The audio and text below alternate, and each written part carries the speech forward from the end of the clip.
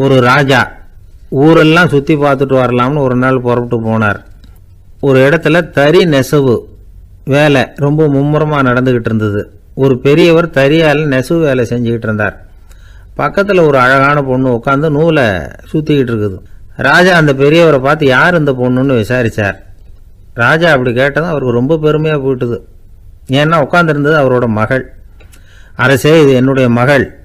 இவ வேகமாக நூல் தெரிக்கக்கூடியவள் வைக்கோல் எடுத்து இவ திரிச்சா கூட அது எல்லாம் பவுனிழையாக வெளியில் வரும் அப்படின்னு ஒரு ராசி இவளுக்கு. அப்படின்னு ரொம்ப பெருமையாக ராஜா கிட்ட சொன்னார். ராஜா இதை கேட்டதும் அசந்துட்டார். அப்படியா? இவ்வளவு அழகும் சாமர்த்தியமும் உள்ள இந்த பொண்ணு என்னோட வரட்டுமே. இவளை என் மருமகளாக ஆக்கிக்கிறேன். அப்படின்னார் ராஜா. அந்த பெரியவருக்கு ஒன்றும் புரியல. ஏதோ கொஞ்சம் பெருமையாக சொல்ல போக அது இப்படி ஆயிட்டுதே அப்படின்னு கவலைப்பட்டார். இருந்தாலும் ராஜா பேச்ச தட்ட முடியுமா? மகளை அனுப்பி வச்சுட்டார். ராஜா அந்த பொண்ணை அரண்மனைக்கு அழைச்சிட்டு வந்தார். அங்கே ஒரு அறையில் வச்சு பூட்டி விட்டார். அந்த ரூம் நிறைய வைக்கோலை கொண்டாந்து போட்டு அடைச்சாங்க. மூணு ராட்டைகள் வேற வச்சுருந்தாங்க. நாளைக்கு பொழுது விடியறதுக்குள்ளே நீ இந்த வைக்கோலை எல்லாம் தங்க இழைகளாக மாற்றி காட்டணும். நாளைக்கு காலம்பரம் வந்து நான் இந்த அறை கதவை திறப்பேன். உன் தகப்பன் சொன்னது மாதிரி எல்லாம் தங்கமாக மாறி இருக்கணும். இல்லைன்னா நீ உயிர் தப்ப முடியாது. அப்படின்னு உத்தரவு போட்டார். பாவம் அந்த பொண்ணு என்ன பண்ணும்? பகல் பூரா அழுதுகிட்டே உட்காந்துருக்குது ராத்திரி பூராவும் தூக்கம் வரல. மறுநாள் அதிகாலை நேரத்தில் யாரோ கதவை தட்டுற சத்தம் கேட்டுது. பயந்துக்கிட்டே கதவை திறக்கிறா. திறந்து பார்த்தா வெளியில் மூணு அவலட்சணமான பெண்கள். ஒருத்திக்கு வந்து கால் அகலமாக முறை மாதிரி இருக்குது இன்னொருத்திக்கு கட்டை விரல் கரண்டி மாதிரி பெருசாக இருக்குது. மூணாவது பொண்ணுக்கு உதடு தடித்து ரப்பர் மாதிரி தொங்கிக்கிட்டு இருக்கு. யார் நீங்கள் உங்களுக்கு என்ன வேணும்? அப்படின்னு கேட்குது இந்த பொண்ணு. நாங்கள் உங்களுக்கு உதவி செய்கிறதுக்கு தான் வந்திருக்கிறோம். அப்படின்னு சொல்லி உள்ளே வந்தாங்க. உட்காந்தாங்க கொஞ்ச நேரத்துக்குள்ளே உள்ளே இருந்த வைக்கோலை எல்லாம் தங்க இழைகளாக மாற்றி கொடுத்துட்டு போயிட்டாங்க. காலையில் ராஜா வந்தார் பார்த்தார். ஆஹா பேஷினார். இன்னும் கொஞ்சம் வைக்கோலை கொண்டாந்து அந்த ரூமில் போட சொன்னார். இந்த வைக்கோலையும் இன்னைக்கு தங்கமாக மாற்றி விடு நாளைக்கு மறுநாள் உனக்கும் இளவரசனுக்கும் கல்யாணம்னு சொல்லிவிட்டார். இன்றைக்கி ராத்திரி அந்த மூணு பொண்ணுங்களும் வந்தாங்க. வைக்கோலை பொண்ணு இழைகளாக மாற்றினாங்க புறப்பட்டாங்க இந்த பொண்ணு அவங்க காலில் விழுந்து வணங்கினா. என் உசுரை காப்பாத்துனீங்க. உங்களுக்கு நான் என்ன கைமாறு செய்ய போகிறேன் அப்படின்னா பயப்படாத. நீ விரும்பினா எங்களுக்கு ஒரு உதவி செய்யலாம். உன்னுடைய கல்யாணத்துக்கு நாங்கள் மூணு பேரும் வரோம். நீ எங்களை வந்து வரவேற்று ராஜாக்கிட்டேயும் இளவரசர்கிட்டையும் நாங்கள் வந்து உன்னோட பெரியப்பா பொண்ணுங்கன்னு சொல்லி அறிமுகப்படுத்தி வை. நாங்கள் விருந்து சாப்பிட்டுட்டு போயிடுறோம் அப்படின்னாங்க. ரொம்பவும் சந்தோஷமாக சரின்னு ஒத்துக்கிட்டா. கல்யாண நாள் வந்தது. கல்யாணம் ரொம்ப கோலாகலமாக நடந்துக்கிட்டு இருக்கு. எல்லா தேசத்து ராஜா ராணிகளும் வந்துக்கிட்டு இருக்கிறாங்க. அந்த மூணு அவலட்சணமான பொண்ணுங்களும் வந்து சேர்ந்தாங்க. யார் இவங்கன்னு கேட்டார் ராஜா. என் பெரியப்பா பொண்ணுங்க அப்படின்னா அந்த பொண்ணு. காலும் உதடும் கட்டை விரலும் ஏன் இப்படி உங்களுக்கு அவலட்சணம் ஆயிட்டுது அப்படின்னு கேட்டார். அதுக்கு அந்த பொண்ணுங்க பதில் சொன்னாங்க. என்ன செய்யறது? ஓயாமல் வைக்கோலை நூற்று ஒருத்தியோட கட்டை விரல் அப்படி கரண்டி மாதிரி ஆயிட்டுது. நாக்கில் தொட்டு தொட்டு திரிச்சதுனால ஒருத்தையோட உதடு அப்படி ஆயிட்டுது. காலால் கட்டையை அழுத்தி அழுத்தி தறி போட்டதுனால இன்னொருத்தையோட கால் அப்படி ஆயிட்டுது. உங்கள் மருமகளாக வந்திருக்கிற இந்த பொண்ணு அந்த மூணையுமே செய்ய தெரிஞ்சவ தான் என்ன ஆக போகுதோ இன்னும் கொஞ்ச நாளில் அப்படின்னாங்க. அவ்வளவுதான். ராஜா பயந்துட்டார். அம்மா இன்னையிலேருந்து நீ இளவரசனின் மனைவி. நீ எப்பவும் அழகாக இருக்கணும். அதனால் நீ இனிமேல் வைக்கோலை திரிக்கவே கூடாது அப்படின்னு உத்தரவு போட்டார். அவளை இக்கட்டான சூழ்நிலையிலிருந்து காப்பாற்றின அந்த மூணு பொண்ணுங்களும் சந்தோஷமாக திரும்பி போயிட்டாங்களாம். சுவாமி சின்மயானந்தர் இந்த கதையை சொல்லியிருக்கிறார். தன்னலம் மறந்து சுயலாபத்தை வந்து தியாகம் செய்கிறது வைக்கோல்ல இருந்து தங்க இழையை நூக்கிறது மாதிரி அப்படிங்கிறார் அவர். அது இருக்கட்டும் இப்போ நம்ம கதைக்கு வருவோம். ஒரு ராஜா தன்னோட மகனுக்கு சுயவரம் நடத்தினார். எல்லா தேசத்திலிருந்தும் ராஜகுமாரர்கள் வந்திருந்தாங்க. ராஜகுமாரியை கல்யாணம் பண்ணிக்கலாம்ங்கிற ஆசையில். சுயம்பர மண்டபத்திலேருந்து எல்லா ராஜகுமாரர்களும் அலறி அடிச்சுக்கிட்டு வெளியில் ஓடி வந்துக்கிட்டு இருக்கிறாங்களாம். ஏன் இப்படி எல்லாரும் மிரண்டு போய் ஓடி வர்றாங்கன்னு கேட்டார் ஒருத்தர். அதுக்கு இன்னொருத்தர் விவரம் சொன்னார். ராஜகுமாரியை இன்றைக்கி தான் அவங்க நேரில் பார்த்தாங்களாம். அதுதான் அப்படி ஓடி வந்துக்கிட்டு இருக்கிறாங்க அப்படின்னார். காசி மாநகரத்தை பிரம்மதத்தன் அப்படிங்கிற ராஜா ஆட்சி பண்ணிட்டு வந்தார். அவர் ஒவ்வொரு வருஷமும் ஒரு திருவிழா நடத்துறது வழக்கம். எல்லா தேசத்திலிருந்தும் எல்லா வகையான ஜனங்களும் அதில் வந்து கலந்துக்குவாங்க. ஒரு சமயம் அது மாதிரி விழா நடந்துக்கிட்டு இருந்தது. வைகுண்டத்திலிருந்து தேவலோகத்திலிருந்து நிறைய தேவகுமாரர்கள்லாம் காசி நகருக்கு அப்போது வந்திருந்தாங்க. அதில் முக்கியமாக ஒரு நாலு தேவகுமாரர்கள் அந்த நாலு பேரையும் சுற்றி ஏகப்பட்ட கூட்டம். அப்படி என்ன விசேஷம் அவங்கக்கிட்ட அப்படின்னா மற்றவங்களை விட அவங்க முகம் அழகாக இருந்ததா? அப்படி பார்த்தா அப்படியும் இல்லை. அவங்க அணிஞ்சிருந்த மலர் மாலைகள் தான் அதுக்கு காரணமாக அந்த மலர்கள்லேருந்து அப்படி ஒரு அபூர்வமான நறுமணம். இதுக்கு முன்னாடி இப்படி ஒரு நறுமணத்தை அந்த ஊர் ஜனங்க அனுபவிச்சதே இல்லை. அதுதான் அந்த நாலு பேரையும் சுற்றி கூட்டம். எல்லாரும் கேள்வி கேட்க ஆரம்பித்தாங்க உடனே அந்த நாலு தேவகுமாரர்களும் எல்லாருக்கும் தெரியும்படியாக வானத்தில் எழும்பி கொஞ்சம் உயரமாக நின்றுக்கிட்டாங்க கீழே நின்றுக்கிட்டு இருந்த அரசன்லேருந்து ஆண்டி வரைக்கும் ஒருத்தர் பாக்கி இல்லாமல் ஒரே குரலில் எல்லாரும் அவங்கள பார்த்து எங்களுக்கும் இது மாதிரி மாலையை போட்டுக்கணும்னு ஆசையாக இருக்குது அதுக்கு நீங்கள் தான் அருள் பண்ணணும். அப்படின்னு கேட்டுக்கிட்டாங்க. மாலை போட்டுக்கிறதுனா எல்லாருக்கும் ஆசையாக தானே இருக்கும். அந்த நாலு தேவகுமாரர்களில் ஒருத்தர் புத்தர் பிரான். அவர் சொன்னார் பூலோகவாசிகளே நான் சொல்கிறத கொஞ்சம் பொறுமையாக கேளுங்க.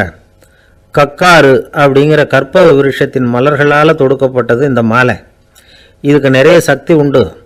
எந்த காலமும் இது வாடாது. வாசனையும் குறையாது. ஆனால் இதை அணிந்து கொள்றதுக்கு சில தகுதிகள் தேவை அப்படின்னார். என்ன தகுதி அது? சொல்லுங்களேன். அப்படின்னு ஏக காலத்தில் எல்லாரும் சத்தம் போட்டாங்க. தீய இயல்புகள் உள்ளவங்க இழிந்த சிந்தனை இழிந்த செயல் உள்ளவங்க இந்த மாலையை அணிய முடியாது அப்படின்னார். அவ்வளோதான் கூட்டத்தில் சத்தம் போட்டவங்கள்லாம் மெதுவாக அப்படி அடங்க ஆரம்பிச்சிட்டாங்க. இன்னொரு தேவகுமாரன் சொன்னார். அடுத்தவங்க பொருளை அபகரிக்காதவன் அடுத்தவங்களுக்கு கெடுதல் பண்ணக்கூடிய பொய் பேசாதவன். பேராசையினால் கெட்ட வழியில் பொருள் ஈட்ட நினைக்காதவன். இந்த மாலையை போட்டுக்கலாம் அப்படின்னார். கூட்டத்திலிருந்து யாரும் முன்னுக்கு வரல.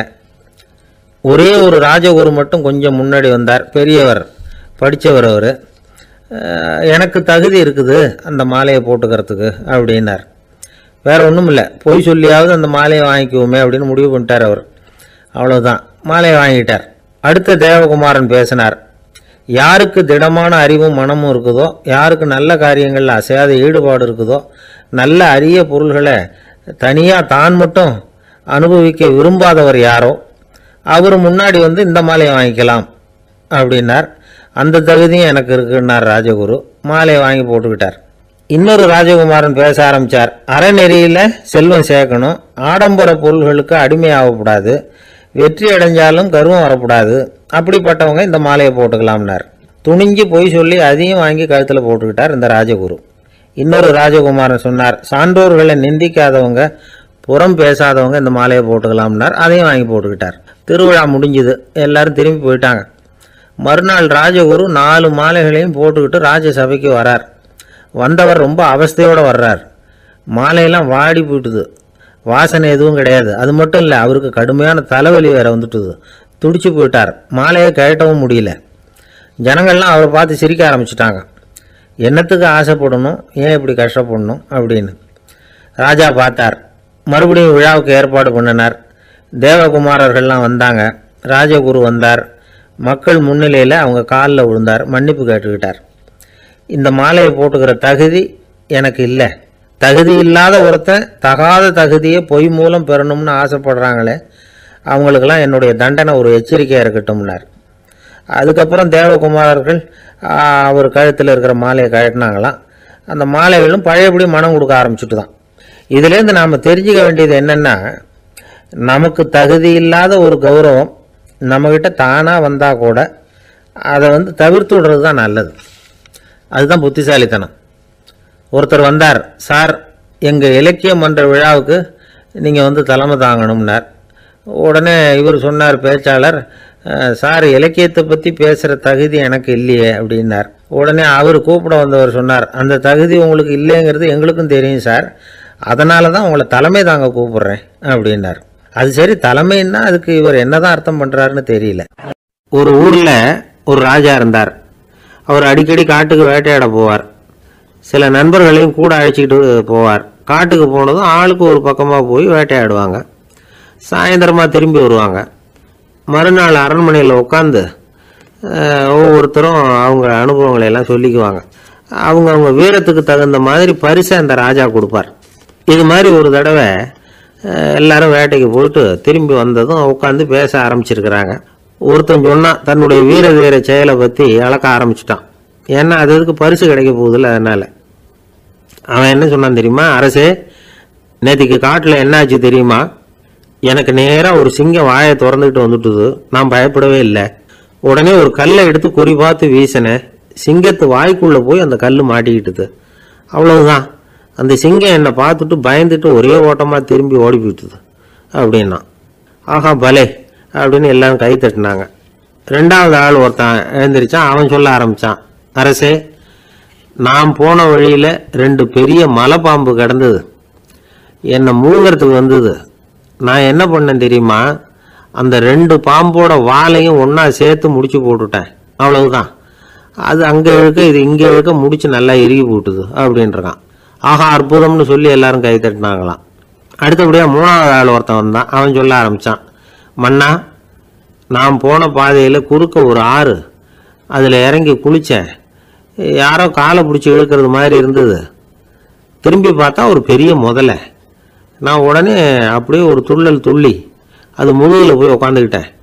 அதை அப்படியே கரைக்கு நீந்த வச்சேன். கரைக்கு வந்து சேர்ந்ததும் அப்படியே ஒரே துள்ளா துள்ளி குதித்து கரைக்கு வந்துட்டேன் அப்படின்றான் அவன் தன்னுடைய வீரத்தை அப்படி சொல்லியிருக்கான். அடடா எப்பேற்பட்ட வீரம் அப்படின்னு எல்லாரும் கை தட்டினாங்களாம் நாலாவது ஆள் எழுந்திரிச்சான். மண்ணா நான் போன இடத்துல ஒரு கரடி வந்து என்னை துரத்த ஆரம்பிச்சுட்டுது. நான் ஒரு மலை உச்சிக்கு வந்துட்டேன். அதுக்கப்புறம் ஒரு அடி எடுத்து வச்சாலும் அதில் பாதாளத்தில் விழ வேண்டியது தான் அந்த நேரம் பார்த்து ஒரு பெரிய ராட்சச கழுகு அந்த பக்கமாக பறந்து வந்தது. நான் உடனே அப்படியே உயர எழும்பி அந்த கழுகோட காலை பிடிச்சிக்கிட்டேன். அப்படியே தொங்கிக்கிட்டே வந்தேன். ஒரு நல்ல இடம் வந்ததும் தொப்புன்னு கீழே குதிச்சு நடந்து வந்துட்டேன் நான். இதுக்கும் எல்லாரும் கை தட்டுறாங்க. கடைசியாக ஒரு ஆள் எழுந்திரிச்சான் அரசே நான் வந்து போன வழியில் ஒரு பெரிய யானை குறுக்க வந்தது. பயங்கரமாக சத்தம் போட்டுக்கிட்டே வந்தது. நான் பயந்து ஓடலை. உடனே என்ன பண்ணேன் தெரியுமா?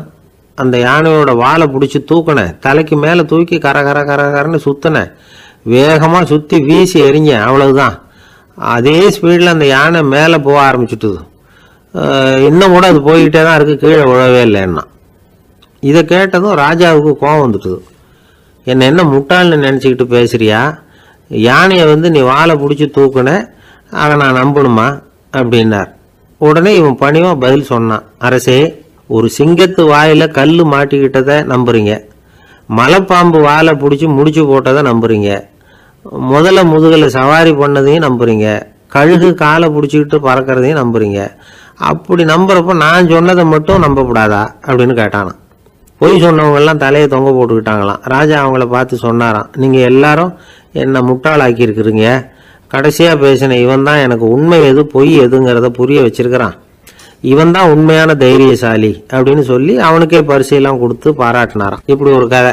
உண்மையை நிலைநாட்டுகிறவன் தான் உண்மையான வீரன் அப்படிங்கிறத இதிலிருந்து நாம் புரிஞ்சுக்கணும். இந்த காலத்துல எல்லாம் பொய் சொன்னாதான் பழைக்க முடியுங்கிறது ஒரு சில பேரோட நம்பிக்கை. ஒரு அப்பாவுக்கு தன் மகனுக்கு பொய் சொல்ல தெரியலையேங்கிற கவலை. பொய் சொன்னால் தான் இந்த உலகத்தில் பிழைக்கலாம். ஆனால் இவனுக்கு அது தெரியலையே. அதனால் இவனை அழைச்சிட்டு போய் நடுக்கடலில் விட்டுட்டு வந்துடுவோம் அப்படின்னு அழைச்சிட்டு புறப்பட்டான். கடற்கரைக்கு போனான். மகனுக்கு சந்தேகம். எங்கேப்பா என்னை அழைச்சிட்டு போகிறேன்னு கேட்டிருக்கான். கடலில் மீன் பிடிக்க கற்றுக் கொடுக்க போகிறேன் உனக்கு அப்படின்னானா. நான் ஏற்கனவே மீன் பிடிச்சிட்டேனேன்னானா இவன். மகன் எங்கே அதுன்னு கேட்டிருக்கான் அப்பங்காரன். சுட்டு சாப்பிட்டுட்டேன்ருக்கான் புள்ள. அப்பங்காரன் பார்த்தான். சரி நம்ம புள்ள பொழைச்சிக்கோ அப்படின்னு சொல்லி திருப்பி அழைச்சிட்டு வந்துட்டானா இணை புரியாத ரெண்டு நண்பர்கள் இருந்தாங்களாம். ரெண்டு பேரும் விடாமல் சிகரெட் குடிக்கிறவங்க. அதில் ஒருத்தன் செத்து போட்டான். இன்னொருத்தன் அதுக்கப்புறம் ரெண்டு ரெண்டு சிகரெட்டாக குடிக்க ஆரம்பித்தானான் ஏன் இப்படி பண்ணுறேன்னு கேட்டிருக்காங்க. நான் ஒரு சிகரெட்டு தான் குடிக்கிறேன். செத்து போன என்னுடைய ஃப்ரெண்டு இருக்கானே செத்து போனவன் அவனுக்காக இன்னொரு சிகரெட்டு குடிக்கிறேன் அப்படின்னு நானா இது ரொம்ப ஆபத்து விட்டுடு அப்படின்னு சொல்லியிருக்காங்க. சரின்னு ஒத்துக்கிட்டான். ஆனால் அதுக்கப்புறமும் ஒரு சிகரெட் விதமாக குடிச்சிக்கிட்டே இருந்தான். சிகரெட் பழக்கத்தை நீ இன்னும் விடலையான்னு கேட்டாங்களாம். அந்த பழக்கத்தை நான் எப்போ விட்டுட்டேன். இப்போ நான் குடிக்கிறது என் ஃப்ரெண்டுக்காக அப்படின்னு நானாம் இவங்கெல்லாம் எப்படி திருந்துறது? ஆரம்ப காலத்தில் ஒரு குரு. அப்போ ஒரு சீடன் இருந்தான் அது வேடிக்கையான குரு வேடிக்கையான சீடன். ஒரு ஆசிரமம். ஒரு நாள் ஒருத்தன் அவசரமாக அந்த குருவை தேடி வந்திருக்கிறான். என்ன விஷயம்னு விசாரித்தார் குரு.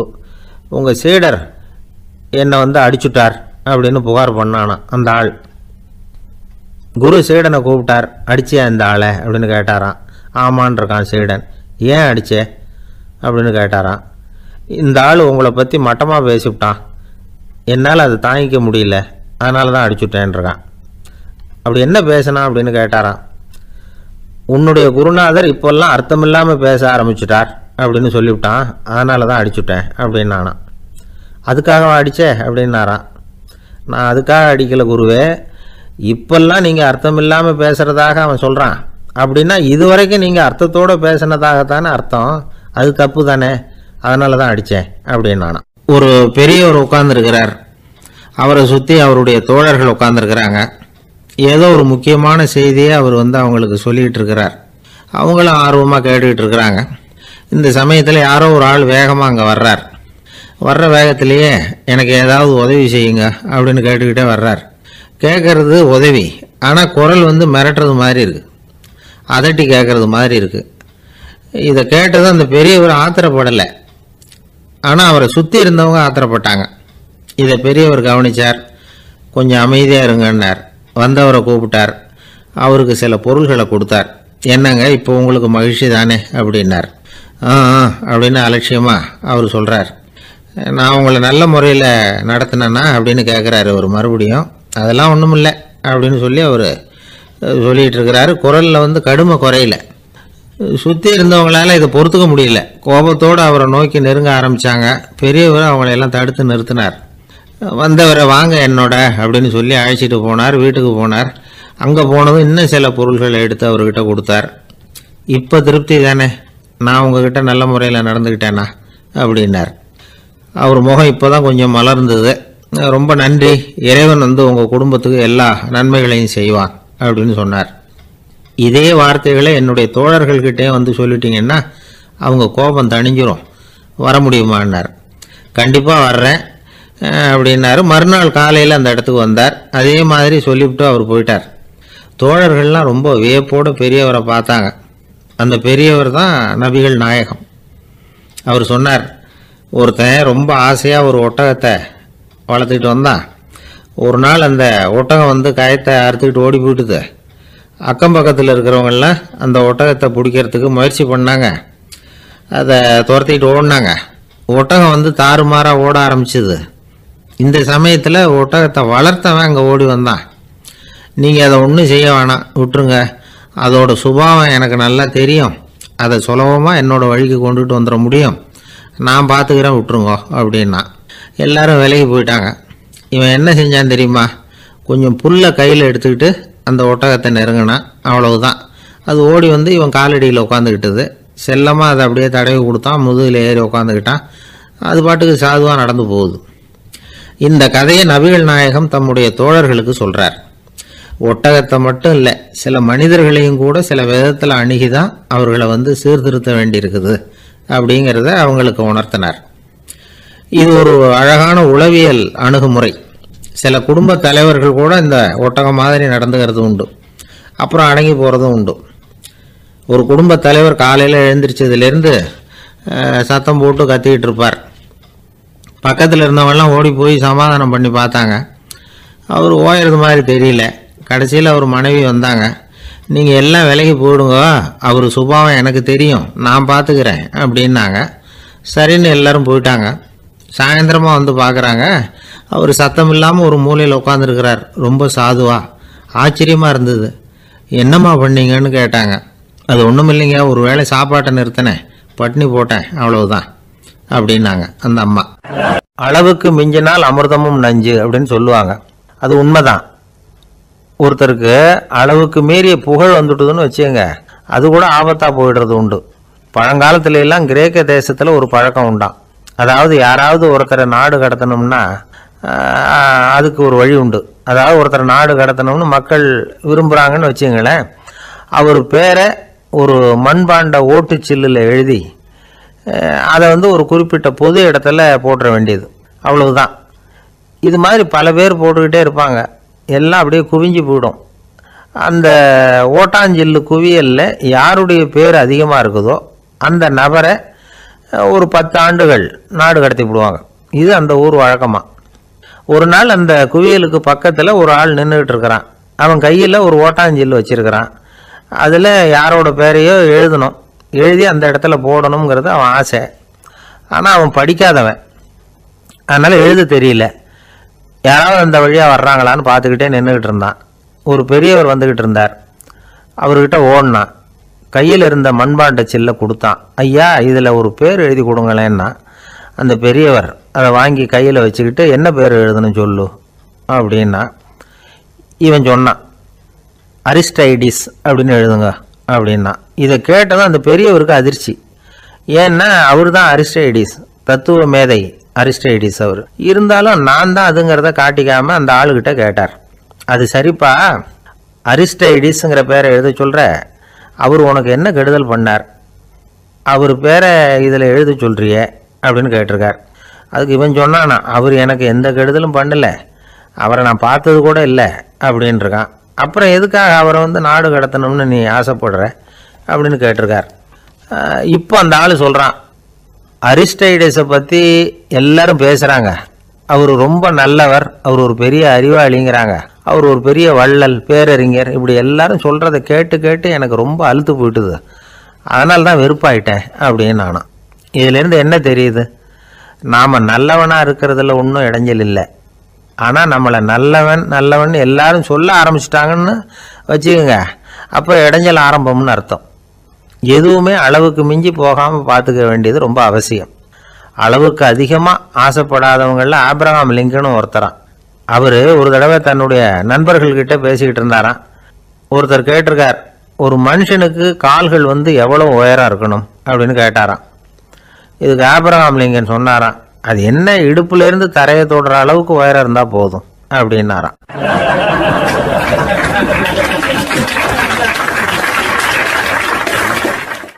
ஒரு பெரிய பியானோ கலைஞர் வியன்னாவில் இருந்தார். ரொம்ப புகழ்பெற்ற இசை கலைஞர் அவர். இங்கிலாந்து மகாராணி விக்டோரியா அவருடைய சங்கீதத்தை கேட்கணும்னு ஆசைப்பட்டாங்க. அவரை அரண்மனைக்கு கூப்பிட்டாங்களாம். பியானோ வாசிக்க சொல்லி கேட்டாங்களாம்.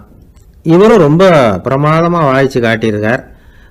உடனே பாராட்டி பரிசுகள்லாம் கொடுத்து அனுப்புனாங்களாம். அந்த இசையை கேட்குறதுல அரசிக்கு ரொம்பவும் ஆர்வம் உண்டு. அதனால் அதுக்கப்புறமும் அந்த கலைஞர் அடிக்கடி அரண்மனைக்கு வர வேண்டிய அவசியம் ஏற்பட்டது. ஏன்னா அரசி கூப்பிட ஆரம்பித்தாங்க இவர் போகணும் அங்கே இசை நிகழ்ச்சி நடத்தணும். இவர் அங்கே பாடி வாசிக்கிறது உண்டு. ஒரு தடவை வந்து மகாராணி அவரை பார்த்து உங்கள் நாட்டு தேசிய கீதம் பாடுங்களேன் அப்படின்னு கேட்டாங்களாம். உடனே அவர் தன்னுடைய நாடான ஆஸ்திரியாவின் தேசிய கீதத்தை பாடியிருக்கிறார். அவர் பாட ஆரம்பித்த உடனே மகாராணி எழுந்திருச்சு நின்னாங்களாம். அதுக்கு மரியாதை செலுத்துகிற நோக்கத்தோட பாட்டு முடிகிற வரைக்கும் அப்படியே நின்றுக்கிட்டு இருந்தாங்களாம். இதுதான் அந்த அரசியினுடைய பெருந்தன்மை. அதாவது நாட்டுப்பற்றுங்கிறது அந்த அளவுக்கு அப்படி இருக்கணும்.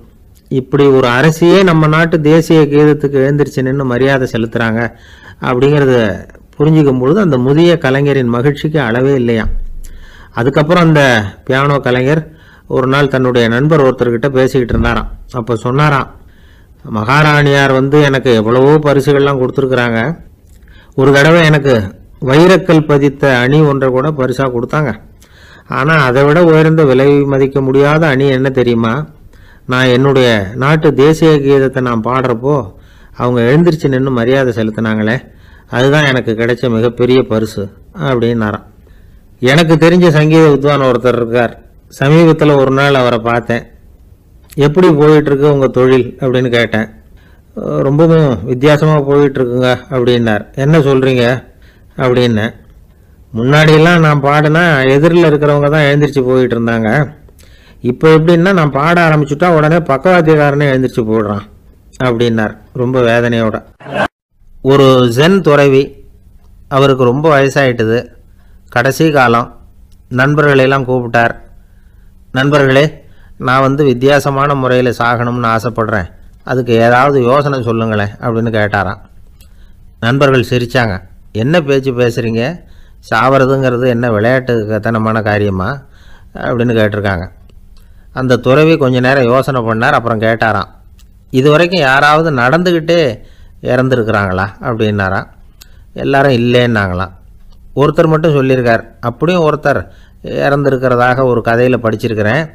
ஒரு ஞானியால் தான் அப்படியெல்லாம் செய்ய முடியும் அப்படின்னு அவர் சொன்னாராம். சரி அப்படின்னா அந்த முறை நமக்கு வேணாம். நின்றுக்கிட்டே யாராவது உயிரை விட்டுருக்காங்களா அப்படின்னு விசாரிச்சாராம். அப்படியும் ஒருத்தர் இறந்துருக்கிறார் அப்படின்னாங்களாம். மறுபடியும் அந்த துறவி யோசனை பண்ணியிருக்கிறார். ஏதாவது வித்தியாசமான முறையில் நாம் வந்து போகணும் அப்படிங்கிறது அவருடைய விருப்பம். மனிதன் எப்படி வாழ்கிறானோ அப்படி இறப்பது தான் நல்லது சரி யாராவது தலைகீழாக வந்து யோகம் செய்யும் நிலையில் இறந்துருக்கிறாங்களா அப்படின்னு விசாரித்தாராம் நண்பர்கள் சிரித்தாங்க தலைகீழாக நின்னபடி இறந்ததாக நாங்கள் கேள்விப்பட்டதே இல்லை. அது முடியாத காரியம் அப்படின்ருக்காங்க இப்போ அந்த துறவிக்கு திடீர்னு உற்சாகம் வந்துட்டுது. உடனே எழுந்திரிச்சார் தலைகீழாக நின்னார் அப்படியே உயிரை விட்டுட்டார். அவ்வளோதான் அந்த மடாலயத்தில் ஒரே குழப்பம். எப்படி அவரை கீழே இறக்கி படுக்க வைக்கிறது அப்படின்னு புரியல. இப்படி உயிர் விடுறதை பற்றி அவங்க இது வரைக்கும் கேள்விப்பட்டதும் இல்லை. உண்மையிலேயே வந்து இவர் வந்து இறந்து தான் போனாராங்கிறதும் தெரியல.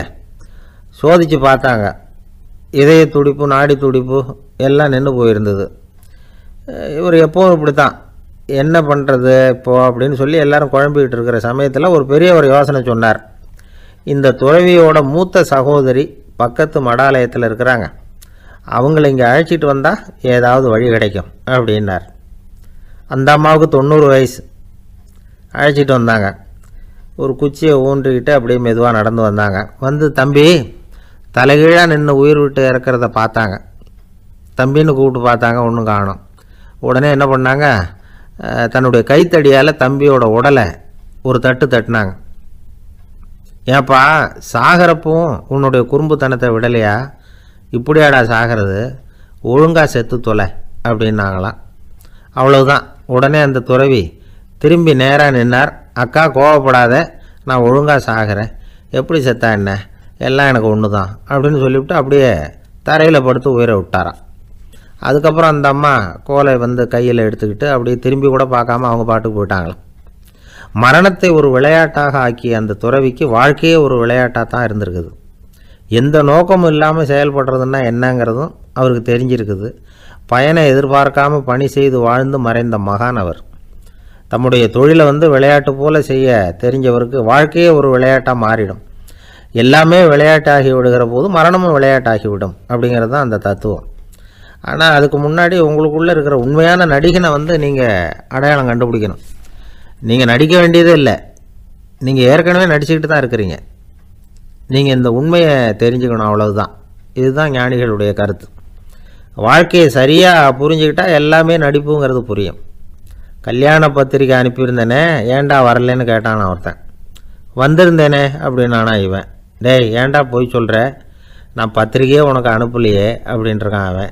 அதுக்கு இவன் சொன்னானா பத்திரிக்கை அனுப்புனேன்னு நீ போய் சொல்கிறப்போ கல்யாணத்துக்கு வந்தேன்னு நான் போய் சொல்லக்கூடாதா? அப்படின்னானா. என்னை விட யோகியன் இந்த உலகத்தில் வேறு யாரும் இல்லை சார் அப்படின்னார் ஒருத்தர். அவரை விட அயோக்கியன் வேறு யாரும் இருக்க முடியாதுங்கிற முடிவுக்கு கேட்டவங்க வந்துட்டாங்களாம்.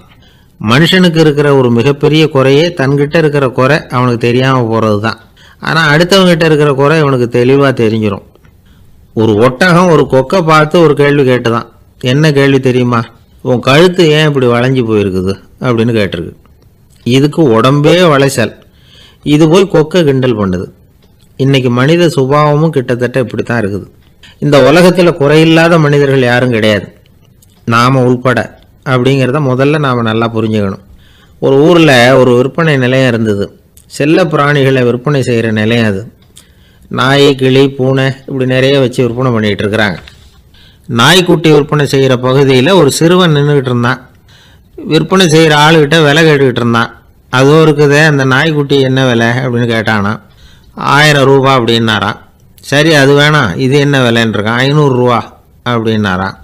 இந்த சின்ன பையன் கையில் வச்சுருந்தது வெறும் ஐம்பது ரூபா தான். அதனால் இதை விட குறைச்சலாக கிடைக்குமான்னு பார்த்துருக்கான். அந்த கடையில் ஒரு மூலையில் சரியாக கவனிக்கப்படாமல் ஒரு நாய்க்குட்டி படுத்து கிடந்தது. பாவமாக கத்திக்கிட்டு இருந்தது. அதை பார்த்ததுமே இவனுக்கு அது ரொம்ப பிடிச்சி போச்சு. உடனே அந்த கடைக்காரரை பார்த்து அதுவும் அந்த மூலையில் படுத்து கிடக்குதே. அந்த நாய்க்குட்டி என்ன விலை? அப்படின்னு கேட்டிருக்கான். தம்பி அது ஒரு கால் ஊனம். அதனால் அது உன்னோட குதித்து விளையாடவோ ஓடுறதோ அதால் முடியாத காரியம். அப்படின்ட்டுருக்கார் அவர். அது தெரிஞ்சுதாங்க கேட்குறேன் அதோட விலை என்ன? அதை மட்டும் சொல்லுங்களேன் அப்படின்ட்டுருக்கான் தம்பி இது வந்து கால் ஊனம் உள்ள ஒரு நாய். இதை போய் காசு கொடுத்து வாங்குறதுக்கு யாராவது பிரியப்படுவாங்களா? இதை நான் உனக்கு இலவசமாகவே தர்றேன் எடுத்துகிட்டு போ அப்படின்னாராம். இதை கேட்டதும் அந்த சிறுவனுக்கு கோவம் வந்துட்டு தான் நீங்கள் ஒன்றும் சும்மா கொடுக்க வேணாம். இந்தாங்க ஐம்பது ரூபா. இதை வச்சுக்கிட்டு நாய்க்குட்டியை கொடுங்க அப்படின்ட்டுருக்கான் அவருக்கு ஒன்றும் புரியல. ஆச்சரியமாக இருந்தது. சரின்னு பணத்தை வாங்கிட்டு நாய்க்குட்டியை தூக்கி கொடுத்தார். அந்த சிறுவன் அந்த நாய்க்குட்டியை ரெண்டு கையாலையும் வாங்கினா மார்போட பிரியமாக சேர்த்து அணைச்சிக்கிட்டான் தெருவில் இறங்கி நடக்கிறான். அப்படி நடக்கும்பொழுது தான் பார்க்குறார் கடைக்காரர் வந்து ஆச்சரியமாக அவனை பார்க்குறார் அப்போ தான் அவருக்கு ஒரு விஷயம் புரியுது. அந்த சிறுவன் தெருவில் நாய்க்குட்டியை மார்போடு அணைச்சிக்கிட்டு விந்தி விந்தி நடந்து போய்கிட்டு இருக்கிறான். ஆமாம் அவனுக்கும் ஒரு கால் ஊனம் இந்த நாய்க்குட்டியை யாருமே வாங்க மாட்டாங்கன்னு நினச்சிக்கிட்டு இருந்தார். குறையுள்ள அதுக்கும் ஒரு எஜமானன் கிடச்சிட்டான். அதனால் ஊனம் ஒரு குறை இல்லை அப்படிங்கிற உண்மையை அந்த கடைக்காரர் புரிஞ்சுக்கிட்டாரான் நம்மால் ஒருத்தர் கொஞ்சம் வயசானவர் எழுந்திரிச்சு சரியாக நடக்க முடியாது. சாய்வு நாற்காலியிலேயே எப்பவும் உட்காந்துருப்பார் அவர் தனக்கு துணையாக ஒரு நாயை பக்கத்தில் வச்சுருந்தார். அதுவும் ரொம்ப வயசான ஒரு நாய் எழுந்திரிக்கவே சிரமப்படும். நடக்கவும் முடியாது. அவர் பக்கத்துலேயே இதுவும் சோர்ந்து போய் படுத்து கிடக்கும். அந்த பெரியவரை பார்க்க வந்த ஒருத்தர் கேட்டார் ஏங்க ஒரு சின்ன பையனை உங்களுக்கு துணையாக வச்சுக்க கூடாதா இந்த நாயை உங்களுக்கு பாதுகாப்பாக வச்சுருக்கிறீங்களே. உங்களுக்கு ஒரு ஆபத்துன்னா இது எப்படி உங்களுக்கு உதவ முடியும்? அப்படின்னார். அப்போ அவர் சொன்னாராம் எனக்கு ஒரு ஆபத்துன்னா அந்த சமயத்தில் இந்த நாய் என்னை தனியாக விட்டுட்டு ஓடி போயிடாமல் இருக்கணும்ல அதுக்காக தான் இதை நான் வச்சுருக்கிறேன் அப்படின்னாராம்.